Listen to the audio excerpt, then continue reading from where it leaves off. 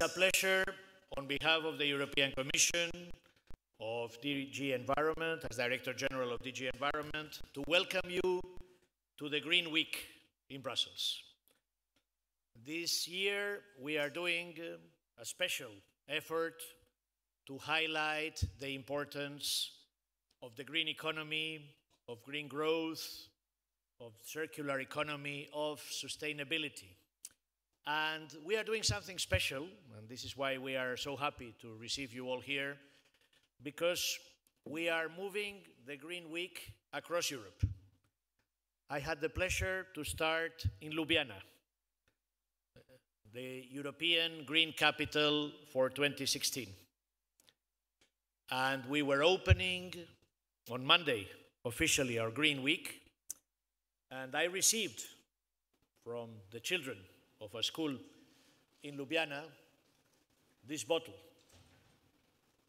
A bottle with a message, with a message of how they would like the world to look like in the coming years.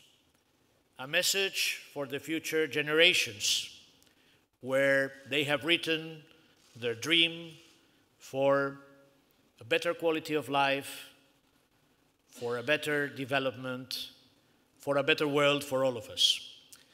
And they asked me to bring it to Brussels. And I wanted to share it with you. I am not going to open the message. We will keep the suspense. Perhaps we read it at the end of our conference.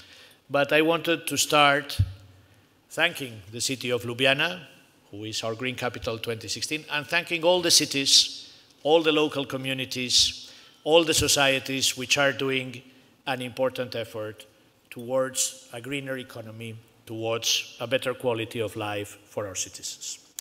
I will put the bottle here and proceed. Now, this year, this year's theme of our Green Week is investing for a greener future. Why investing? Why a greener future? The reason is we believe that conducting environmental policies, sustainable development, is not about additional expenses. It's not about additional costs. It's not about additional burden for our economies, for our companies, for our business. It is about investment. It is about making available funds, thinking for the future. Investing in a greener world is guaranteeing the life, is guaranteeing the future for the future generations. And we have a great responsibility. Europe has one of the most advanced legal frameworks in environmental. We have succeeded over the past years in improving the quality of air in our cities, water, waste, chemicals, our Natura 2000 birds and habitats protection is one of the most advanced in the world. And 95% of European citizens believe that the greatest added value of the European Union is its contribution to the environment and its contribution to fight against climate change.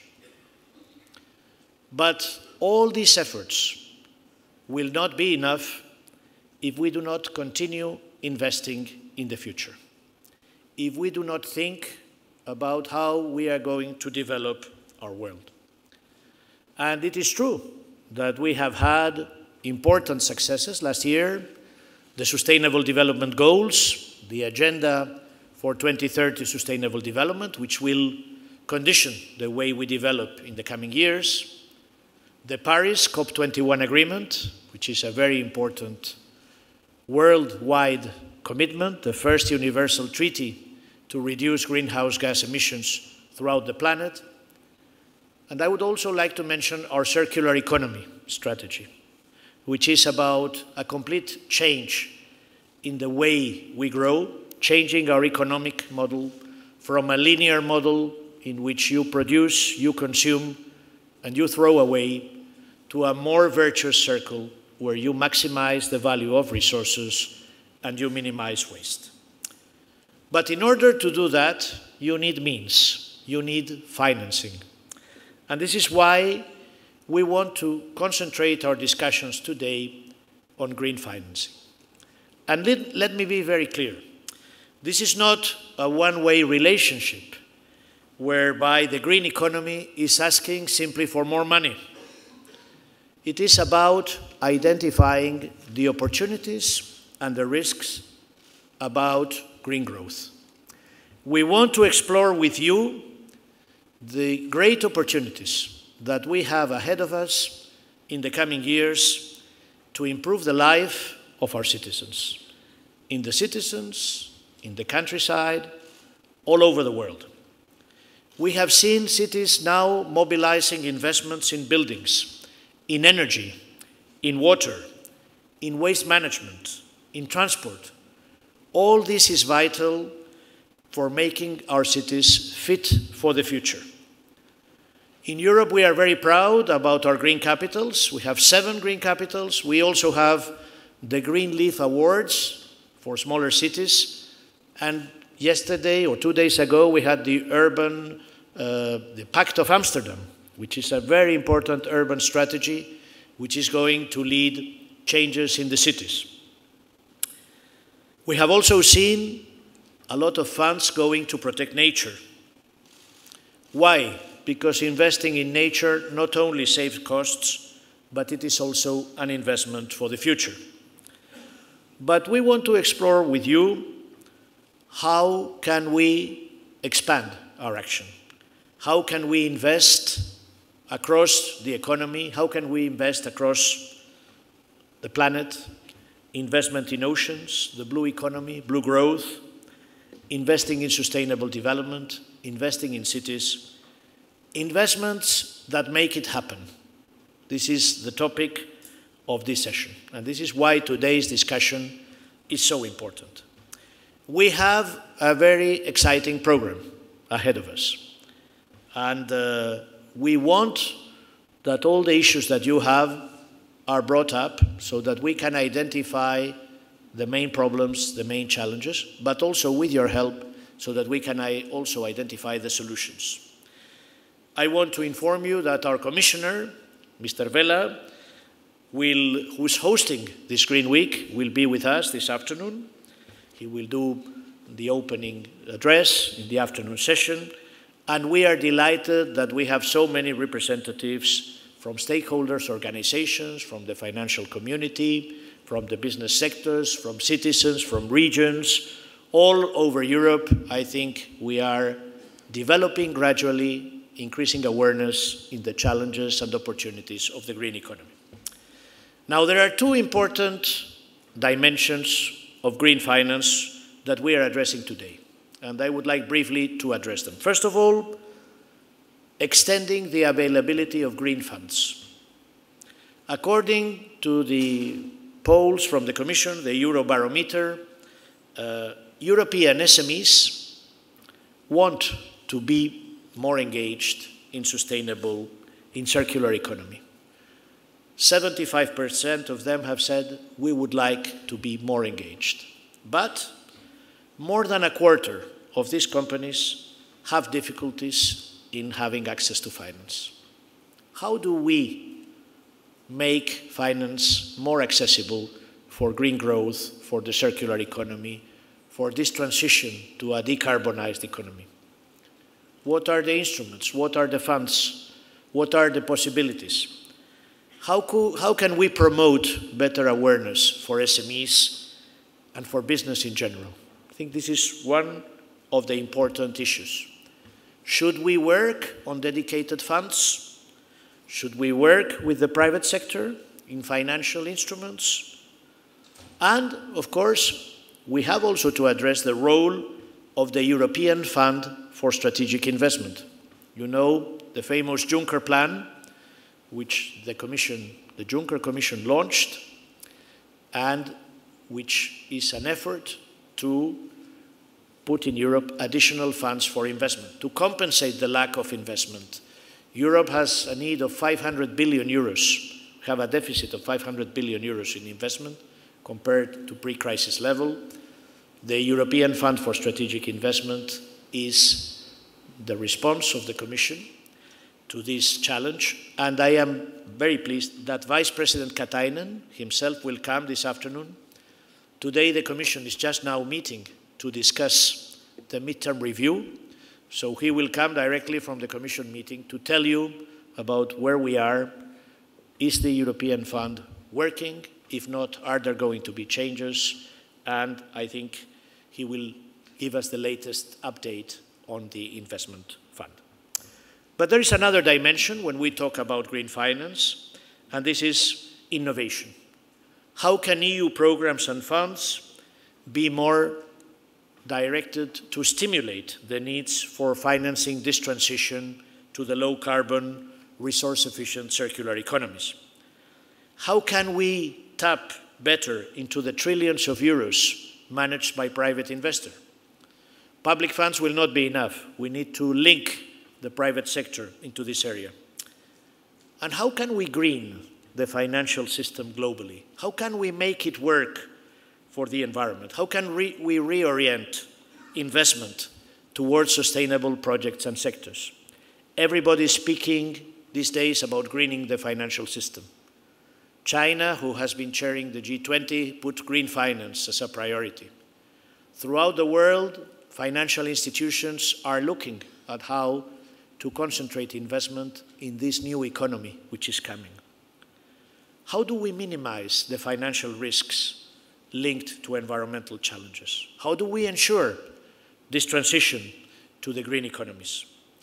So we will also have with us the experts from the Commission in the area of the financial services and capital markets. We have the Capital Markets Union, and I am very pleased to announce also that the Director General of DG FISMA, my friend and colleague Olivier Guersent, will be with us and he will be discussing, together with experts, how to develop concrete ideas, how to make the greening of the financial system more operational. We have a full program, we have a full agenda, we are very excited. I am very happy to see so many people here today. And what I would like, I, I want to reassure you, I'm ending my speech, but I would end with a final message. I really hope that our discussions in the next hours can bring forward this agenda and that it can also help to showcase emerging solutions in this important field. The whole of our society, the whole of our planet um, has a big challenge. And the big challenge is to develop in a more sustainable way. If we don't develop in a more sustainable way, it will be impossible to guarantee uh, the life of our future generations. So this is a duty that we have. But at the same time that we are working to improve the quality of life, we also need to develop jobs and growth. Economic development is not incompatible with sustainability. So sustainability and economic development go hand in hand. But to make it happen, we need to finance these solutions. This is why our discussion today is so important. This is why we welcome your presence here. I want also to encourage you to be very active, to be uh, to engage in the discussions, and I really hope that by the end of the day we will have a better idea not only of the challenges but also of the success stories and of the solutions that we can put in place together in the coming years. Thank you very much.